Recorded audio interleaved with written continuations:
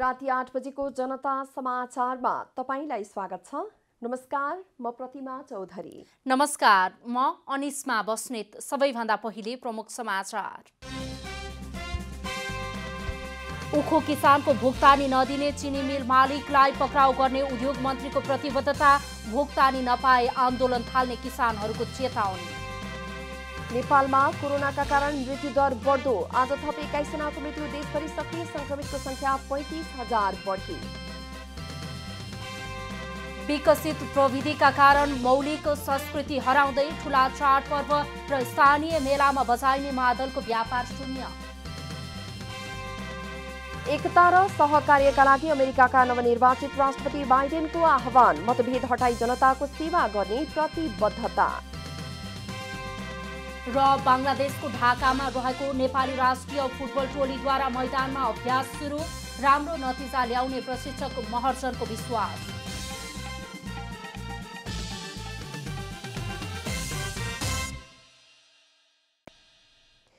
अब पुरा समाचार। उद्योग मन्त्री लेखराज भट्टले उखु किसानहरूलाई भुक्तानी नदिने चिनी मिल मालिकलाई पक्राउ गर्ने चेतावनी दिनुभएको छ। यता उखु किसानहरूले भने तत्काल भुक्तानी नपाए मङ्सिर सत्ताइस गतेदेखि आन्दोलन थाल्ने चेतावनी दिएका छन्। आइतबार उद्योग वाणिज्य तथा आपूर्ति मन्त्रालयमा उखु किसान सङ्घर्ष समिति सर्लाहीले उखु किसानले पाउनुपर्ने बाँकी बक्यौता छठभन्दा अघि पाउनुपर्ने भन्दै उद्योग मन्त्री लेखराज भट्टलाई स्मरण पत्र बुझाएका छन्। उखु किसान सङ्घर्ष समिति सर्लाही संरक्षक राकेश कुमार मिश्राको अगुवाईमा रहेको किसानहरूको समूहले मन्त्री भट्टलाई अल्टिमेटम समेत दिएका छन्। उखु किसान सङ्घर्ष समिति र नेपाल सरकार बीच सम्झौता भएको लामो समय बितिसक्दा पनि पूर्ण रूपमा भुक्तानी नभएको भन्दै तत्काल भुक्तानी नभए किसानहरूले मङ्सिर सत्ताइस गतेबाट आन्दोलन थाल्ने चेतावनी दिनुभएको छ। हामी पुनः हजारौँ किसानहरू भेला भई सिंहदरबार घेर्ने घेर्नेछौँ अत नेपाल सरकारले तुरन्त निर्धारित अवधिमा रकमको सम्पूर्ण भुक्तानी गरियोस्। होइन भने कोरोनाले मर्नु र भोक र ऋणले मर्नु दुवैको परिणाम एउटै भएकाले हामीले निर्णायक आन्दोलन गर्न बाध्य भएको जानकारी गराउन चाहन्छु। मन्त्री भट्टले स्मरण पत्र बुझ्दै बन्द भएका उद्योगको जाई जथा बेचेर भए पनि किसानको रकम दिलाउने प्रतिबद्धता दोहोऱ्याउनु भएको छ। किसानको उखु किनेर समयमै रकम भुक्तानी नगर्ने उद्योगीलाई पक्राउ गरिने उहाँले चेतावनी दिनुभयो। समस्या समाधानका लागि गृह मन्त्रालय र भूमि सुधार मन्त्रालयसँग छलफल गरिरहेको उहाँले बताउनुभयो। अनि यतापट्टि विद्युत प्राधिकरणबाट पाउनुपर्ने भुक्तानी जोडेर कति हुन्छ? किसानको बकाया कच्छ त्यो त्यताबाट भुक्तानी गराउने कुरो छँदैछ। बाँकी अब उसको अन्य जायज यथा अथवा त्यही कम्पनीबाट हामीले के गर्न सक्छौँ त्यसपछि सोच्ने गत वर्ष पुष अठार गते मन्त्री भट्टको उपस्थितिमा उद्योग मन्त्रालय र उखु किसान सङ्घर्ष समिति बीच अठार बुधे सम्झौता भएको थियो। उखु किसानको सम्पूर्ण रकम भुक्तानी गर्ने मन्त्रीले आश्वासन दिए पनि लामो समय बितिसक्दा समेत उखु किसानले अहिलेसम्म भुक्तानी पाउन सकेको छैन। क्यामरामा साजन थापाका साथ शिव अधिकारी यदुवंशी काठमाडौँ। नेपालमा पछिल्लो चौबिस घण्टामा दुई हजार आठ सय सत्रजना कोरोना सङ्क्रमित थपिएका छन्। स्वास्थ्य तथा जनसङ्ख्या मन्त्रालयका प्रवक्ता डाक्टर जागेश्वर गौतमले पछिल्लो चौबिस घण्टामा दुई हजार आठ सय सत्रजनामा कोरोना संक्रमण पुष्टि भएको जानकारी दिनुभयो। प्रवक्ता गौतमका अनुसार चौबिस घण्टामा बाह्र हजार तीन सय एघारजनाको पिसिआर परीक्षण गरिएको छ। आज काठमाडौँ उपत्यकामा मात्रै एक हजार पाँच सय तेत्तिसजना संक्रमित थपिएका छन्। थपिएका मध्ये काठमाडौँमा एक हजार दुई सय चौरानब्बे ललितपुरमा एक सय बैसठी र भक्तपुरमा सतहत्तरजना संक्रमित थपिएका छन्। स्वास्थ्य मन्त्रालयका अनुसार पछिल्लो चौबिस घण्टामा दुई हजार आठ सय बाह्रजना डिस्चार्ज भएका छन्। अहिलेसम्म डिस्चार्ज हुनेको सङ्ख्या एक लाख सन्ताउन्न हजार नौ सय छब्बिस रहेको छ। सक्रिय सङ्क्रमितको सङ्ख्या पैँतिस हजार चार सय उन्नाइस छ। आज काठमाडौँ उपत्यका मध्ये काठमाडौँमा एक हजार दुई सय चौरानब्बे भक्तपुरमा सतहत्तर र ललितपुरमा एक सय बैसठी गरी जम्मा सङ्क्रमितको सङ्ख्या एक हजार पाँच सय तेत्तिस छ। पछिल्लो चौबिस घण्टामा एक्काइसजनाको कोरोना संक्रमणबाट मृत्यु भएको प्रवक्ता गौतमले जानकारी दिनुभयो। यो सँगै नेपालमा कोरोनाबाट मृत्यु हुनेको संख्या एक हजार एक सय आठ पुगेको छ। अहिलेसम्म पन्ध्र लाख चालिस हजार सतहत्तर जनाको पिसिआर परीक्षण भएको मन्त्रालयले जनाएको छ। अहिले देशभरि एघार सय उनपचासजना क्वारेन्टिनमा रहेका छन्। कोभिड नाइन्टिन सङ्कट व्यवस्थापन केन्द्र सिसिएमसीले कोरोनाका कारण विदेशमा अलपत्र परेका नेपालीहरूको उद्धार सकिएकाले उद्धार उडान बन्द गर्न सरकारलाई सिफारिस गरेको छ। अहिलेसम्म एक लाख छत्तिस हजार दुई सय सोह्रजनाको उद्धार गरी स्वदेश फर्काइएको भन्दै सिसिएमसीले उद्धार उडान बन्द गर्न सरकारलाई सिफारिस गरेको हो। विभिन्न देशमा रहेका नेपालीहरू कुटनीतिक नियोगहरूले लगभग उद्धार सकिएको जानकारी गराएपछि उद्धार उडान बन्द गर्न सरकारले सिफारिस गर्ने निर्णय भएको प्रधानमन्त्री तथा मन्त्री परिषद कार्यालयका सचिव महेन्द्र प्रसाद गुरागाईले बताउनुभयो। विदेशमा रहेका उद्धार गर्नुपर्ने नेपाली नागरिकहरूको हालसम्म एक लाख छत्तिस हजार दुई सय सोह्रजनाको उद्धार भइसकेको र कुटनैतिक नियोगहरूबाट अब उद्धार गर्न जरुरी भएको सङ्ख्या लगभग सकिएको जानकारी प्राप्त भएकोले र नियमित उडानहरूबाट उहाँहरूलाई समय अब बाँकी रहेकोलाई समावेश गर्न सकिने अवस्था भएको हुनाले अब नियमित उडानबाट समायोजन गरेर ती उद्धार गर्नुपर्ने व्यक्ति कोही बाँकी रहेको भए त्यसबाट समावेश गर्ने गरी अब उद्धार उडानहरू गर्नु नपर्ने निर्णय भएको छ। यसै गरी केबल कार जङ्गल सफारी र साहसिक पर्यटनका क्षेत्र भने खुल्ला गर्न सरकारलाई सिफारिस गरिएको उहाँले बताउनुभयो। होम आइसोलेसनमा रहेका कोरोना संक्रमितहरूको संख्या धेरै रहेको अवस्थामा स्वास्थ्य परामर्शका लागि स्थानीय तहका वडाहरूबाट स्वास्थ्य कर्मीले परामर्श सेवा दिन अनुरोध गर्ने निर्णय पनि सिसिएमसीले गरेको छ. यस्तै कुटनीतिक नियोगका कर्मचारीका परिवारलाई पनि नेपाल आउन दिने निर्णय गर्न मन्त्री परिषदलाई सिफारिस गरिएको छ भारत सरकारले नेपाललाई भेन्टिलेटर सहयोग हस्तान्तरण गरेको छ। स्वास्थ्य तथा जनसङ्ख्या मन्त्रालयमा एक कार्यक्रमका बीच भारतले अठाइसवटा भेन्टिलेटर सहयोग हस्तान्तरण गरेको हो। नेपालका लागि भारतीय राजदूत विनय मोहन क्वात्राले स्वास्थ्य मन्त्री भानुभक्त ढकाललाई भेन्टिलेटर हस्तान्तरण गर्नुभएको हो। भेन्टिलेटर हस्तान्तरणपछि राजदूत क्वात्राले कोभिड महामारीको समयमा दुवै देशलाई एक अर्काको आवश्यकता रहेको बताउँदै भारतीय सरकार र भारतीय जनताले नेपाललाई गर्ने सहयोग सकारात्मक सहकार्यको भावना भएको उहाँले बताउनुभयो। स्वास्थ्य मन्त्री ढकालले आफू अप्ठ्यारोमा भए पनि विगतदेखि नै सहयोग गर्दै आएकोमा भारतलाई धन्यवाद व्यक्त गर्नुभयो। मन्त्री ढकालले सहयोग स्वरूप प्राप्त भेन्टिलेटर उपयुक्त ठाउँमा पठाउने बताउनुभयो। संक्रमण दर बढ्दो अवस्थामा रहेको उल्लेख गर्दै उहाँले बढी सक्रिय संक्रमित र गम्भीर खालका बिरामी भएको ठाउँमा भेन्टिलेटर पठाउने जानकारी दिनुभएको छ। भेन्टिलेटरहरू उपयुक्त ठाउँमा पठाउनेछौँ र सामान्यतया हामीले भेन्टिलेटरहरूको वितरण गर्दा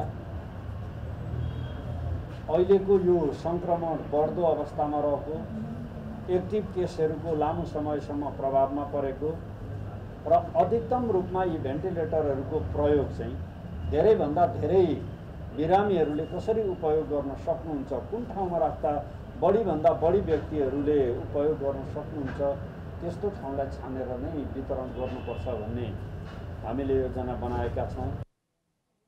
अहिले नेपाल भारत लगायत विश्वभरि नै कोरोना महामारीको संक्रमण बढ्दो छ। नेपालमा दैनिक संयोजनालाई संक्रमण भइरहेको छ। सवारी कर तिर्न उपत्यकाका यातायात कार्यालयमा सर्वसाधारणहरूको भिड लागेको छ। दसैँ लगत्तै खुलेका कार्यालयहरूमा कोरोना महामारीलाई प्रभाव नगरी कर तिर्ने सेवाग्राहीको भिड लागेको हो। प्रदेश नम्बर तीन सरकारले कार्तिक मसान्तसम्म सवारी साधनको कर तिर्नुपर्ने र नतिरे म्याद अनुसार जरिवाना तिर्नुपर्ने सूचना निकालेसँगै कर तिर्न उपत्यकाका कार्यालयहरूमा सेवाग्राहीको भिड लागेको छ। आइतबारबाट सेवा सुरु भए पनि उपत्यकाका यातायात कार्यालयले भिड व्यवस्थापन गर्न नसक्ने भन्दै कर तिर्नुपर्ने नवीकरण गर्नुपर्ने समय नब्बे दिन थप्न बागमती प्रदेशको भौतिक पूर्वाधार विकास मन्त्रालयलाई आग्रह गरेको छ। यता दुई दिनसम्म लाइनमा बस्नु परेको भन्दै सर्वसाधारणहरू सरकारसँग आक्रोशित देखिएका छन्। व्यवस्थापनको पाटो नहेरी कर तिर्न ताकेता गरेको भन्दै सर्वसाधारणले सरकारकै कारण कोरोना संक्रमण फैलिने सम्भावना बढेको गुनासो गरेका छन्। कोरोनाको समयमा नि एकदमै मान्छे चेप्पा चेप खाँदा खान्छ होइन? सरकारले दुरी राख कायम राख्ने भने भन्छ होइन? तर दुरी अनुसार यो भएको छैन। होइन एकदमै रोगहरू झन् काठमाडौँ भक्तपुर ललितपुरमा विशेष सरेको कारण पनि यो कार्यालयहरूमा एकदमै गाह्रो अवस्थाहरू अनि भौतिक दूरी कायम नभएको कारणले पनि यो यातायात सेवा कार्यालय सानो भर्याङका प्रमुख कपिल सेलोवाल भने कोरोना संक्रमण फैलिन नदिनका लागि उच्च सुरक्षा सतर्कता अप्नाइएको दावी गर्नुहुन्छ। लामो समयको लकडाउनका कारण बन्द भएको कार्यालयमा जरिवाना लाग्ने डरले कर तिर्न तथा नवीकरण गर्न आउने सेवाग्राहीको भीड़ देखिएको भन्दै उहाँले कोरोनाको जोखिम बढेकाले समय थप गर्न आग्रह गरिएको बताउनुभयो। लामो समय लकडाउन हुनाले गर्दाखेरि र सेवाग्राहीहरूको सवारीको द नवीकरणको म्याद सकिसके पछाडि उहाँ जरिवाना लाग्ने भएले जरिवाना लाग्छ पनि त्यो भएले गर्दाखेरि उहाँहरू एकैचोटि अहिले कार्तिक मसान्तसम्म लकडाउनको समयमा म्याद सकिएका सवारीहरूको करमा छुट दिएको कारणले उहाँहरू एकैचोटि अहिले कार्यालयमा भिड हुनुभएको छ जसले गर्दा हामीलाई भौतिक दूरी कायम गराएर सेवा दिन चाहिँ समस्या भइरहेको छ। प्रदेश सवारी तथा यातायात व्यवस्था ऐन दुई हजार पचहत्तरले म्याद सकिएको नब्बे दिनभित्र कर तिर्नुपर्ने उल्लेख गरेको छ। सोही मिति नागेपछि पहिलो तीस दिनका लागि सात प्रतिशत जरिवाना लिइन्छ भने त्यसको पैँतालिस दिनसम्म दस प्रतिशत र पन्ध्र दिनपछि आर्थिक वर्षको अन्तसम्म बीस प्रतिशत जरिवाना लाग्ने व्यवस्था छ। क्यामेरामा शैलेन्द्र गोविन्द अमाते र जेपी श्रेष्ठका साथ कमला हमाल काठमाडौँ। कोरोना भाइरसका कारण अवरुद्ध चिनिया नाकाहरू बिस्तारै खुले पनि पूर्ण रूपमा सञ्चालनमा आउन सकेका छैनन्। कोरोनाको जोखिम देखाएर चिनिया पक्षले नेपाली कन्टेनरहरू सीमापारी प्रवेश गर्न नदिँदा ढुवानी खर्च निकै महँगो पर्ने गरेको व्यापारीहरूको गुनासो छ। चीनले कोरोना भाइरसको संक्रमण सुरु भएपछि गत वर्ष माघदेखि बन्द गरेको नेपालसँगका उत्तरी सीमाहरू निश्चित परिमाणमा मात्र सामान पठाउने गरी खुलाएको छ। नेपाल सरकारले उत्तरी नाका खुलाउन पहल गरेपछि तातोपानी तथा रसुवागढी नाका हुँदै हाल दैनिक पाँचवटा कन्टेनरसम्म नेपाल आउने गरी सुचारू भएका छन्। तर कोरोनाको जोखिम देखाएर चिनिया पक्षले नेपाली कन्टेनरहरू सीमापारी प्रवेशमा रोक लगाएर चीनले नै सीमावारीसम्म आफ्नो कन्टेनरबाट सामान ढुवानी गर्न थालेपछि चीनतर्फको ढुवानी भाडा निकै बढेको व्यापारीहरूको भनाइ छ। हाल नेपाली कन्टेनरहरू चीन पारी गएर एक कन्टेनर मात्र सामान आयात गर्दा नै बाह्र लाखसम्म ढुवानी भाडा तिर्नु परेको नेपाल हिमालय सीमापार व्यापार सङ्घका अध्यक्ष बच्चु पौडेल बताउनुहुन्छ। यो पच्चिस किलोमिटर सडकको चिनिया ढुवानी खर्च हो। माघ अघिसम्म नेपाली कन्टेनर मार्फत नेपाली भन्सारसम्म सामान ल्याउँदा एक कन्टेनर सामानको ढुवानी खर्च जम्मा सत्तरीदेखि अस्सी हजार मात्र पर्ने गर्दथ्यो।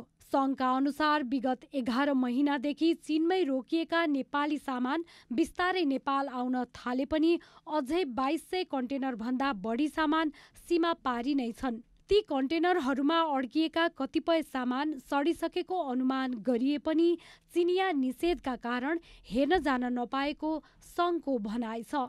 सङ्घले सीमामा भाडा बढी तिर्नु परेपछि भन्सारमा पनि यस सम्बन्धी समस्या सम्बोधनका लागि ध्यानाकर्षण गराएको तर सम्बोधन हुन नसकेको जनाएको छ। त्यस्तै सीमा पूर्व अवस्थाकै जस्तो सहज बनाउन सरकारले पहल गरेको बताए पनि परिणाम त्यस्तो हुन नसकेको व्यापारीहरूको गुनासो छ। रूपा घिमिरे काठमाडौँ। राष्ट्रपति विद्यादेवी भण्डारीले संयुक्त राज्य अमेरिकाका राष्ट्रपतिमा निर्वाचित हुनुभएकोमा डेमोक्रेटिक पार्टीका नेता जो बाइडेन र उपराष्ट्रपतिमा निर्वाचित हुनुभएकामा कमला ह्यारिसलाई बधाई ज्ञापन गर्नुभएको छ। आज बिहान सामाजिक सञ्जाल ट्विटर मार्फत राष्ट्रपति भण्डारीले उहाँहरूको कार्यकालमा नेपाल अमेरिका बीचको द्विपक्षीय सम्बन्ध तथा जनस्तरको मित्रता अझै सुदृढ हुने विश्वास व्यक्त गर्नुभयो। यसै गरी प्रधानमन्त्री केपी शर्मा ओलीले ट्वीट गर्दै निर्वाचनमा प्रभावशाली र ऐतिहासिक विजय प्राप्त गर्नुभएकोमा बाइडेन र ह्यारिसलाई बधाई ज्ञापन गर्नुभएको छ। नेपाल अमेरिका सम्बन्धलाई अझै सुदृढ गर्न नयाँ अमेरिकी नेतृत्वसँग निकटमा रही काम गर्ने चाहना पनि प्रधानमन्त्रीले व्यक्त गर्नुभएको छ। अमेरिकाको छियालिसौँ राष्ट्रपतिमा जो बाइडेन आएसँगै विश्व अर्थतन्त्रमा सुधार आउने अपेक्षा गरिएको छ। बाइडेन निर्वाचित भएपछि अन्तर्राष्ट्रिय सम्बन्धसँगै अन्तर्राष्ट्रिय आर्थिक सम्बन्धमा सुधार हुने विश्लेषकहरूको अनुमान छ। अन्तर्राष्ट्रिय सम्बन्धमा सुधार आउन अमेरिकी राष्ट्रपतिमा जो बाइडेन निर्वाचित हुनुपर्ने र धेरैले उहाँको नीतिलाई नै समर्थन गरिरहेका थिए अन्तत बाइडेनले चाहिने भन्दा बढी मत प्राप्त गरेपछि अमेरिकाको छयालिसौँ राष्ट्रपतिमा बाइडेन निर्वाचित हुनुभएको हो। बाइडेनको आगमनसँगै विश्वमै मध्यम वर्गको सुधारसँगै आर्थिक सामाजिक क्षेत्रमा अमेरिकाले अन्य देशहरूमा गरिरहेको सहयोग बढ्ने र अन्तर्राष्ट्रिय सम्बन्ध सुमधुर हुने विश्लेषण गरिएको छ। डेमोक्रेटिक चाहिँ के हो भने अलिक प्रगतिशील पार्टी हो। उनीहरूले चाहिँ नि मध्यम आय भएका निम्न आय भएका व्यक्तिहरूलाई पनि चाहिँ साथमा लिनुपर्दछ भन्ने कुरा उनीहरूले त्यो डेमोक्रेटिक पार्टीले गर्छ। अब ओबामा केयर हेल्थ केयर जस्तो अफोर्डेबल केयर जस्ता कुराहरू जुन अहिले सस्पेन्ड जस्तो भएको थियो ती कुराहरू पुनर्विचार भएर आउँछ। बाइडेन निर्वाचित भएसँगै अमेरिकामा कर सहुलियत र विश्वकै अर्थतन्त्रमा सुधार आउने सबैको आशा छ। विश्वमा इकोनोमिक लिबरलाइजेसनलाई एउटा दर्शन मानेर हिँडेको मार्केट इकोनोमीलाई र ट्रम्पले चाहिँ एउटा संरक्षणवादी अर्थनीति लिन खोजे र त्यसमा अलिकति परिवर्तन हुन सक्छ। अब ट्रम्पको जस्तो तदर्थ क्रियाकलाप हट्ने पनि अनुमान छ।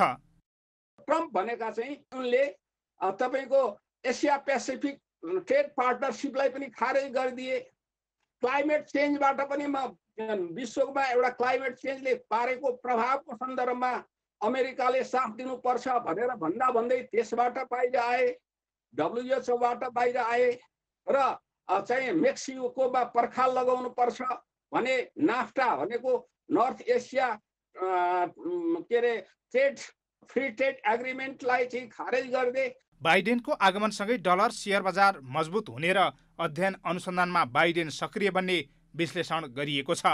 बाइडेनले अहिलेसम्मको उनको अनुभव हेर्दाखेरि त्यसरी मनोगत भन्दा भन्दा पनि सिद्धान्तमा अनुसन्धानमा लमा हिँड्लान् कि भनेर अपेक्षा गर्न सकिन्छ। अन्तर्राष्ट्रिय आर्थिक सुधार हुँदा नेपालले फाइदा लिने विषय त छँदैछ तर बाइडेनका कारण नेपालमा भने प्रत्यक्ष असर पर्ने सम्भावना न्यून रहेको विश्लेषण गरिएको छ। हरिशरण नेउपाने काठमाडौँ। कोरोना संक्रमणको जोखिम नभएको भए यति बेला तिहारको चहल पहल हुन्थ्यो। साथीभाइ जमघट भएर यति बेला देउसी भैलो खेल्ने तयारीमा हुन्थे तर यो वर्ष अवस्था फरक छ। कोरोना संक्रमणको जोखिमले अहिले समूहमा खेल्ने बस्ने अवस्था पटक्कै छैन। तिहारको समयमा देउसी भैलो खेल्ने अवस्था नभएपछि मादल व्यवसाय पनि चौपट भएको छ। कोरोना संक्रमणको जोखिमका कारण यो वर्ष तिहारमा गाउँका टोल टोलमा मादल बजाएर देउसी भैलो खेल्ने अवस्था छैन जसको असर मादल व्यवसायमा पनि परेको छ। पोहोरका वर्षहरूमा तिहारको बेला भ्याइ नभ्याइ हुने मादल व्यवसायीहरू व्यापार नै शून्य भएपछि अहिले फुर्सदमा छन्। त्यसो त अहिले ठुला चाडपर्व स्थानीय मेला पर्वमा मादल बजाएर नाचगान गर्ने चलन पनि कम हुँदै गएको छ। यद्यपि बसन्तपुर क्षेत्रमा मादलको व्यवसाय गर्दै आएका व्यवसायी रिबो बहादुर कुलु गत वर्षहरूमा सात सय बढी मादल बिक्ने गरेकोमा यो वर्ष व्यापार निकै कम भएको बताउनुहुन्छ। तिहारमा लगभग हामी चाहिँ चार पाँच सय मादल बढी बिक्थ्यो होलसेलमा रिटेलमा गर्दा अझ त्योभन्दा पनि बिक्थ्यो छ सात सय जति माल बिक्थ्यो। एउटै पसलबाट होइन। अब हाम्रो त तपाईँको बन्न त महिनाको डेढ दुई सयवटा माल बनि नै रहन्छ। अब अहिले चाहिँ यो जुन कोरोनाले गर्दा चाहिँ अहिले व्यापारमा अहिले एकदमै बाधा आयो कि? छैन व्यापार। कोरोना संक्रमणको कारण देउसी खेल्ने अवस्था नभएकाले व्यापार नै ठप्प रहेको उहाँले बताउनुभयो बजार नभए पनि मूल्यमा भने कुनै परिवर्तन नभएको व्यवसायी कुलुको भनाइ छ। विगत वर्षहरू जस्तै तेह्र सय रुपियाँदेखि सुरु भएर मादलको गुणस्तर अनुसार आठदेखि दस हजारसम्मका मादल पाइने गरेको उहाँको भनाइ छ। तेह्र सयदेखि लिएर तिन हजार पैँतिस सय चार हजार मादल हेरेर मादल अलिक धेरै ठुलो भयो भने पाँच हजार छ हजार पनि पर्यो। नत्र तेह्र सयदेखि लिएर तपाईँको लगभग दुई हजार पच्चिस सय तिन हजार पैँतिस सय चार हजार पाँच हजार मादलको साइज हेरेर क्वालिटी हेरेर मूल्य पर्छ। यो वर्ष कोरोना महामारीले व्यवसाय चौपट भएको बहाना गर्न पाइने अवस्था भए पनि प्रविधिले भने मौलिक संस्कृतिमाथि नै धावा बोलिरहेको छ। डिजिटल गीत सङ्गीतको कारणले मादल बजाउने परम्परा नै सङ्कटमा पर्न थालेको छ। केही वर्ष पहिलेसम्म जोर मादल बजाएर आँगनमा देउसी खेल्ने गरेको देखिन्थ्यो तर अहिले समय पनि फेरिएको छ। मादल भन्दा क्यासेट बजाएर देउसी खेल्ने चलनले युवा पुस्तामाझ प्राथमिकता पाएको छ जसका कारण पनि मादलको बिक्री वितरणमा कमी हुँदै आएको छ। युवा पुस्ताबाट आफ्नो मौलिक संस्कृति जगेर्ना हुन नसक्दा व्यापार व्यवसायमा असर त पर्छ नै हाम्रो सभ्यता नै लोप हुने खतरा बढेको छ। पोखराको फेवातालमा आन्तरिक पर्यटकको चहल पहल बढेको छ। ढुङ्गा सञ्चालनमा आएपछि फेवामा पर्यटकहरूको चहल पहल बढेको हो। कोरोना संक्रमण जोखिम र लामो समयको लकडाउनका कारण सात महिना बन्द रहेको पोखराको फेवतालमा डुङ्गा सञ्चालनमा आएपछि पर्यटकहरूको चहल पहल बढेको छ। गत असोज दुई गतेबाट सञ्चालनको अनुमति पाए पनि सुरुवाती दिनभन्दा अहिले आन्तरिक पर्यटकहरूको चहल पहल बढिरहेको हो। सञ्चालनको सुरुवाती दिनमा रित्ता डुङ्गाहरू तैरिरहेका देख्न सकिने फेवतालमा अहिले दैनिक दुई सयभन्दा बढी पर्यटकहरू रमाउने गरेका छन्।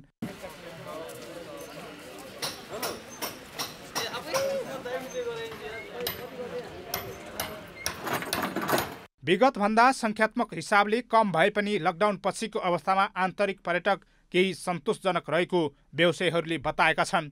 देशभरिका मठ मन्दिर जस्तै फेवताल बीचमा ताल बाराही मन्दिर बन्द छ। डुङ्गाबाटै मन्दिर परिक्रमा गर्ने आन्तरिक पर्यटकहरूको चहल पहल पनि बढ्दो छ। विगत वर्षहरूमा दैनिक आठ सय भन्दा बढी पर्यटकहरू घुम्न पुग्ने फेवातालमा अहिले दुई सय हाराहारीमा पर्यटक आउने गरेका छन्। अहिले फेवातालमा दैनिक पैँतिसवटा डुङ्गा सञ्चालनमा छन्।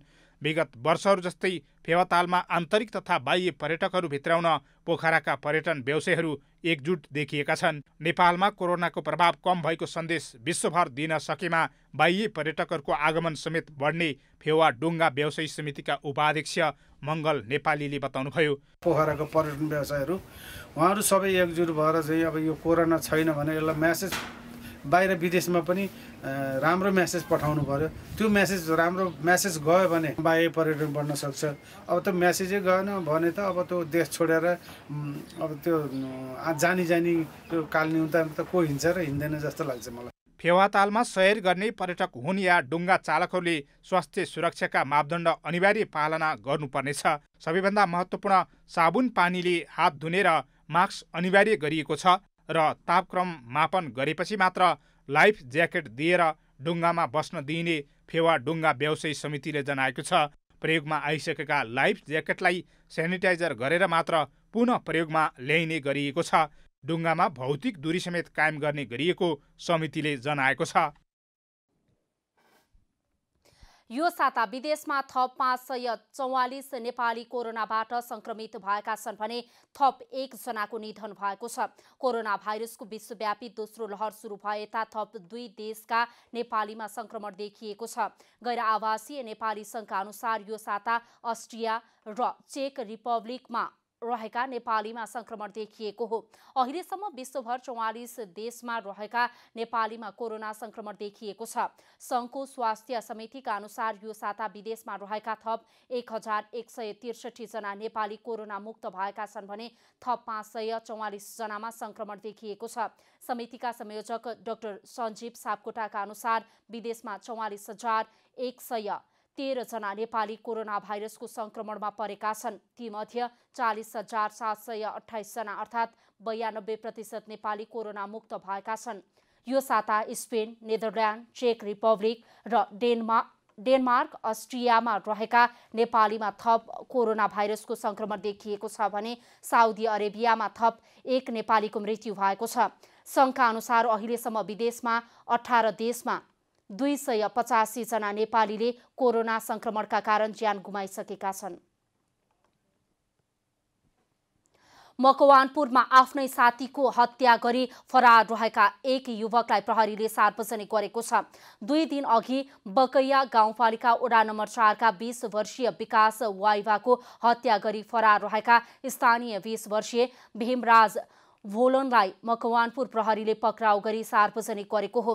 ललितपुरको बागमती गाउँपालिका ओडा नम्बर दुई माल्टाबाट शनिबार पक्राउ गरिएका उनलाई प्रहरीले आज सार्वजनिक गरेको छ।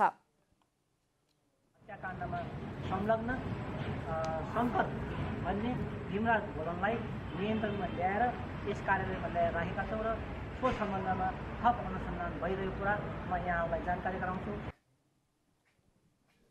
घटनापछि भागेका भोलानलाई ललितपुरमा स्थानीयले शङ्का लागेर पक्राउ गरी इलाका प्रहरी कार्यालय ठिङ्गनलाई बुझाएका थिए। अब आर्थिक समाचार।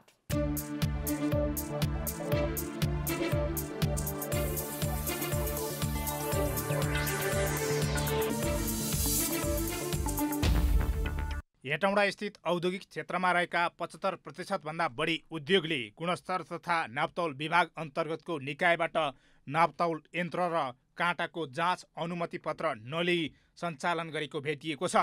औद्योगिक क्षेत्रमा करिब एक सय एघार उद्योग रहेको तर पच्चिसवटा उद्योगले मात्र उत्पादन गरेको सामानको बिक्री वितरणका लागि नापतौल अनुमति पत्र लिएको गुणस्तर तथा नापतौल क्षेत्रीय कार्यालय वीरगञ्जले जनाएको छ।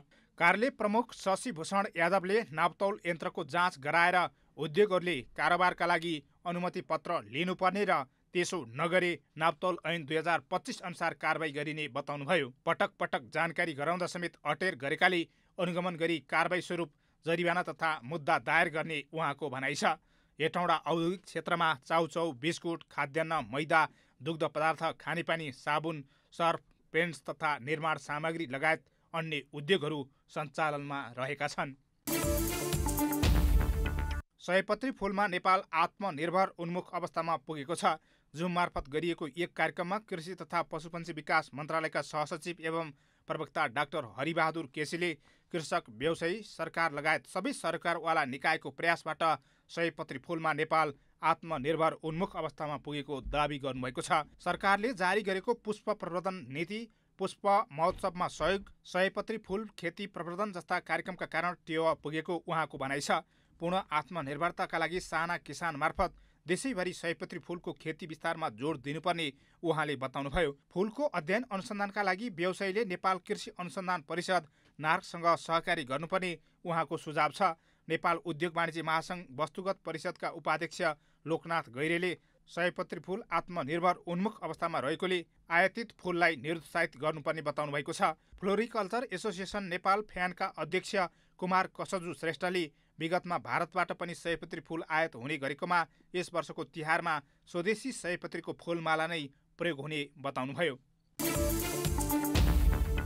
आइतबार सुनको मूल्य तोलामा पाँच सय रुपियाँले बढेको छ। बजारमा छापावाला सुन प्रति तोला सन्तानब्बे हजार सात सय रुपियाँमा किनबेच भएको नेपाल सुनचाँदी व्यवसायी महासङ्घले जनाएको छ। शुक्रबार छापावाला सुन प्रति तोला सन्तानब्बे हजार दुई सय रुपियाँ रहेको थियो। आइतबार तेजाबी सुन प्रति तोला सन्तानब्बे हजार दुई सय रुपियाँमा किनबेच भएको छ। चाँदी तोलामा बिस रुपियाँले बढेर प्रति तोला एक हजार दुई सय पचहत्तर रुपियाँमा कारोबार भएको महासङ्घले जनाएको छ। अन्तर्राष्ट्रिय बजारमा सुनको मूल्य बढेर प्रति औँस एक हजार नौ सय एकाउन्न डलर हाराहारीमा कारोबार भइरहेको छ। आइतबार अमेरिकी डलरको भाउ घटेको छ। नेपाल राष्ट्र ब्याङ्कले आइतबारका लागि एक अमेरिकी डलरको खरिद दर एक सय अठार रुपियाँ त्रिचालिस पैसा र बिक्री दर एक सय उन्नाइस रुपियाँ तिन पैसा निर्धारण गरेको छ। शुक्रबारको तुलनामा डलर तिस पैसाले सस्तिएको हो। यसअघि शुक्रबार एक अमेरिकी डलरको खरिद दर एक सय अठार रुपियाँ त्रिहत्तर पैसा र बिक्री दर एक सय उन्नाइस रुपियाँ तेत्तिस पैसा रहेको थियो। साताको पहिलो कारोबार दिन आइतबार सेयर बजार परिसूचक नेप्से बाह्र दशमलव चार नौ अङ्कले बढेर सोह्र सय अडचालिस दशमलव पाँच आठ अङ्कमा पुगेको छ। बजारमा क वर्गका परिसूचकहरूको मापन गर्ने सेन्सिटिभ इन्डेक्स एक दशमलव पाँच सात अङ्कले बढेको छ। आइतबार बजारमा कारोबारमा आएका वाणिज्य ब्याङ्क र विकास ब्याङ्क समूहको परिसूचकमा गिरावट आएको छ। बाँकी सबै समूहको परिसूचकमा सुधार आएको छ। बजारमा एक सय अन्ठानब्बे कम्पनीका एक करोड आठ लाख त्रिसठी हजार चार सय छप्पन्न किता सेयर एकचालिस हजार सात सय सतसट्ठी पटक खरिद बिक्री हुँदा तिन अर्ब बाहन्न करोड रुपियाँ बराबरको कारोबार भएको छ।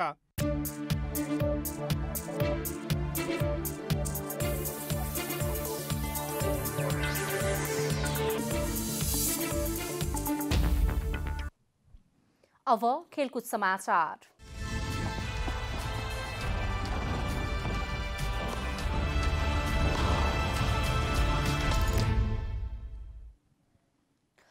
बङ्गलादेशको ढाकामा रहेको नेपाली राष्ट्रिय फुटबल टिमले आजदेखि मैदानमा अभ्यास सुरु गरेको छ। काठमाडौँबाट बिहिबार ढाका पुगेको नेपाली टिमले आजदेखि अभ्यास सुरु गरेको हो। नेपाली फुटबल टिम बङ्गलादेशको राष्ट्रिय टिमसँग मैत्रीपूर्ण खेल खेल्नका लागि ढाका पुगेको हो। Nepali football team COVID nineteen संक्रमणको जोखिमका कारण बिहिबारदेखि ढाकामा होटल क्वारेन्टिनमा बसेको थियो। क्वारेन्टिनमा रहेकै बेला पनि होटलको छतमा दुई दिनसम्म सामान्य अभ्यास अभ्यास गरेको टिमको पिसिआर रिपोर्ट नेगेटिभ आएसँगै आजदेखि मैदानमै अभ्यास गर्न अनुमति पाएको हो। यो सँगै शेख जमल धनमुण्डी फुटबल मैदानमा पहिलो दिन दुई घण्टाभन्दा बढी अभ्यास गरेको छ। ढाका पुगेपछि पहिलो पटक मैदानमा अभ्यास गराउन पाउनु भएका प्रशिक्षक बाल गोपाल महर्जनले कोरोनाका कारण केही समस्या देखिए पनि नेपाली टिमले राम्रो नतिजा ल्याउने विश्वास व्यक्त गर्नुभयो। Time to FIFA friendly matches, which is organized by the Bangladesh VFF. Uh, I would like to thank you very much for the VFF and the Bangladesh government for inviting me, uh, invite us for the friendly matches, two matches, uh, from on behalf of uh, our Infa Federation and uh, my teams. यस्तै कप्तान किरण चेम्जोङले नेपाल र बङ्गलादेशको स्तर समान रहेकाले पनि मैत्रीपूर्ण खेलमा तीव्र प्रतिस्पर्धा हुने बताउनुभयो उहाँले बङ्गलादेशसँग मैत्रीपूर्ण खेल खेल्न पाएको अवसरलाई सदुपयोग गर्न नेपाली टोली सक्षम रहेको बताउनुभयो.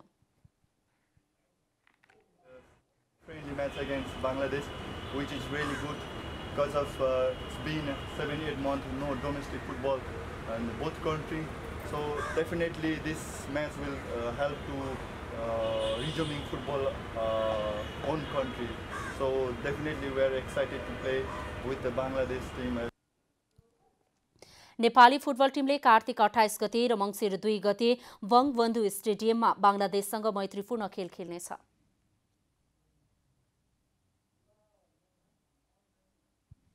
अब मौसम समाचार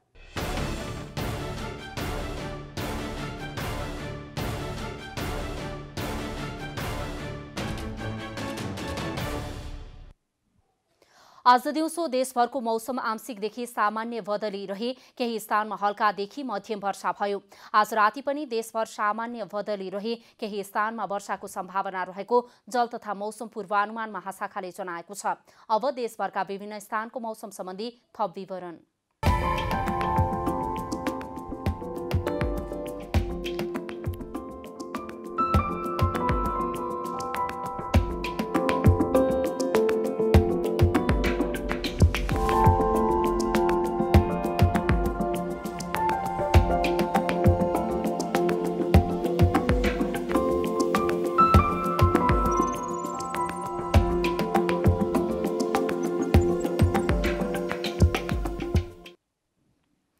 आजको डायरी।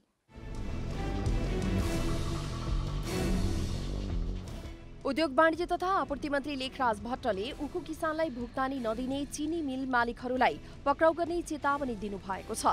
यता उखु किसानहरूले भने तत्काल भुक्तानी नपाए मङ्सिर सत्ताइस गतिदेखि आन्दोलन थाल्ने चेतावनी दिएका छन्। नेपालमा पछिल्लो चौबिस घण्टामा दुई हजार आठ सय सत्रजना कोरोना संक्रमित थपिएका छन्। पछिल्लो चौबिस घण्टामा दुई हजार आठ सय बाह्रजना डिस्चार्ज भएका छन्। थप एक्काइसजनाको कोरोना संक्रमणबाट मृत्यु भएको छ। यो सँगै नेपालमा कोरोनाबाट मृत्यु हुनेको संख्या एक हजार एक सय आठ पुगेको छ। कोभिड नाइन्टिन सङ्कट व्यवस्थापन केन्द्र सिसिएमसीले कोरोनाका कारण विदेशमा अलपत्र परेका नेपालीहरूको उद्धार सकिएकाले उद्धार उडान बन्द गर्न सरकारलाई सिफारिस गरेको छ। अहिलेसम्म एक लाख छत्तिस हजार दुई सय सोह्रजनाको उद्धार गरी स्वदेश फर्काइएको भन्दै सिसिएमसीले उद्धार उडान बन्द गर्न सरकारलाई सिफारिस गरेको हो। विश्वभर कोरोना भाइरसका संक्रमितको संख्या पाँच करोड नाघेको छ। दुई सय सोह्र देशमा फैलिएको कोरोना भाइरसबाट अहिलेसम्म पाँच करोड तीन लाख पचास हजार भन्दा धेरैमा संक्रमणको पुष्टि भएको छ। संक्रमित मध्ये बाह्र लाख सन्ताउन्न हजार चार सय भन्दा बढीको मृत्यु भइसकेको छ भने तीन करोड छपन्न लाख बढी निको भएका छन्। मैत्रीपूर्ण खेलका लागि बङ्गलादेश पुगेको नेपाली राष्ट्रिय पुरुष फुटबल टिमले आजबाट ढाकामा प्रशिक्षण थालेको छ। नेपाली टिमको कोरोना रिपोर्ट नेगेटिभ आएसँगै खेलाडीहरू आजबाट प्रशिक्षण सुरु गरेका छन्। नेपालले कार्तिक अठाइस र मङ्सिर दुई गते बङ्गलादेशसँग दुई मैत्रीपूर्ण खेल खेल्नेछ।